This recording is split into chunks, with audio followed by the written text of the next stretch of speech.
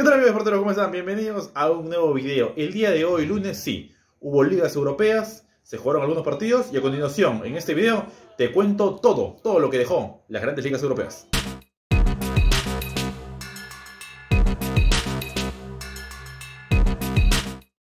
Así es, y vamos a empezar con la Premier League, fecha número 2. Hoy debutó el actual subcampeón, el Arsenal, que le ganó al Crystal Palace por 1-0 con el tanto de Martín Odegaard a los 54 minutos para el triunfo Gunner. Fue el único partido que se disputó por la Premier League. Dejo Inglaterra, me voy a Italia, fecha número 1 de la Serie A. El recién ascendido el equipo de Gianluca Paula, el Cagliari debutó hoy. Gianluca no está, recuerden que fue operado, por lo tanto no está jugando en estos momentos, porque todavía tiene una para algunos meses. Te informo que el, su equipo jugó contra el Torino y volaron 0-0, lo hizo en condición de visitante. Mientras que el campeón, el Milan, le ganó por 2-0 al Boloña de visitante. Olivier Giroud a los 11 abrió el marcador. Cristian, el Capitán América Pulisic, a los 21 puso el 2-0 definitivo. Dejo Italia, me voy a España. La liga se juega fecha número 2. El Alavés le ganó por 4-3 al Sevilla en un partidazo. Luis Rioja a los 7 abrió el marcador para el cuadro local.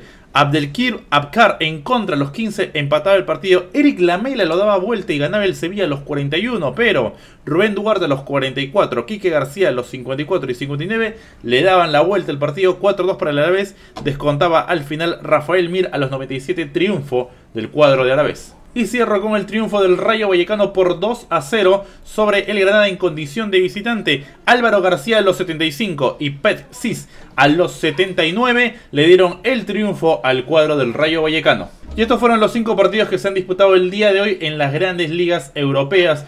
Punto final hasta este momento. El fin de semana te contaré más cómo se mueven las siguientes fechas de la liga. Pero eso no es todo, porque entre semana habrá también video seguramente con la Copa Libertadores, más cosas que van a llegar, la Copa Sudamericana. Y para que no te pierdas de eso, te invitamos a que nos sigas en nuestras redes sociales que aparecen aquí abajo en la pantalla de este video. Gracias por haber llegado hasta este punto. Nos vemos más adelante. Chao.